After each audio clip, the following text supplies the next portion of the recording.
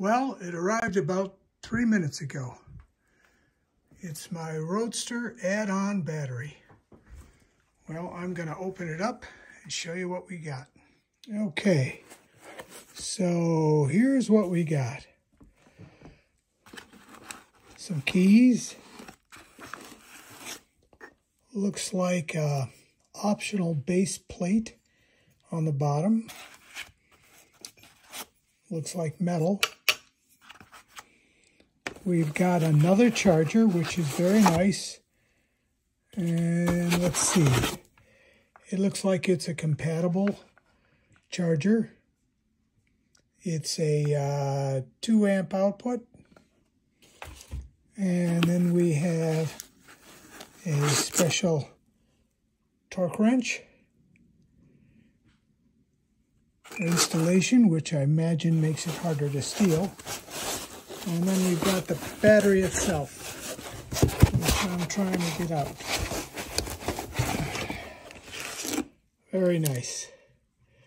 It looks like it uh, connects with the uh, proper adapters. And it looks like there's a charging port there and it's keyed for easy removal. So I will be taking this downstairs to where my bike is and uh, assembling it. Before I do that, I was looking to see what was on the battery and I noticed it's got a USB charging port. So that looks like I could use this battery as a extra battery to charge things. And this looks like the charging port here watertight. And but I was looking to see if there was a way to tell how much the battery was charged. So I will unlock this. Oh, here on the end. Very good. On the end is a little light. Looks like low, medium, and high.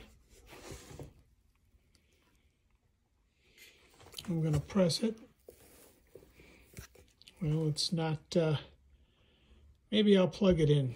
Give me a second here and I'll plug it in.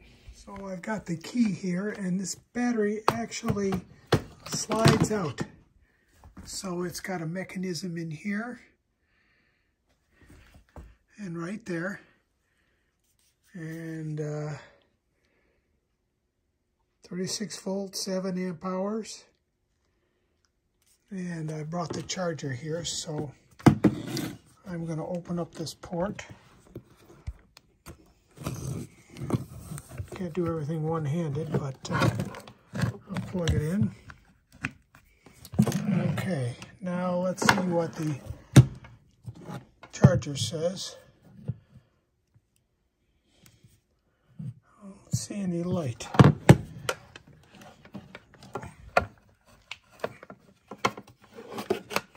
Ah, the charger does light up red. However, on here, I don't see any indication on this bulb. So I'm going to let it charge for a few minutes. Very nice key operation here. That's what locks it in. Pull it away. It seems uh, fairly lightweight. And I imagine this just goes up into the underneath there to the controller. Okay. Well, I also found this adapter plate, and I imagine that this will fit on top of there like this. And uh, this will probably connect to the bottle cage adapter. And the bolts will go right straight through here. However, they did not give me any nuts and bolts or screws. And I don't see uh, any instructions. So I'm going to head online and see if they've issued some instructions. Well, actually, I left it plugged in for a couple minutes and now there's flashing lights. So red must mean it's very low. So there is an indication of the battery level. Let me unplug the charger and see if the light still responds. Yes. So it's apparently very, very low in its state. So I'm going to recharge that and let it sit before I actually do the assembly. But this looks like it shouldn't take very much time at all.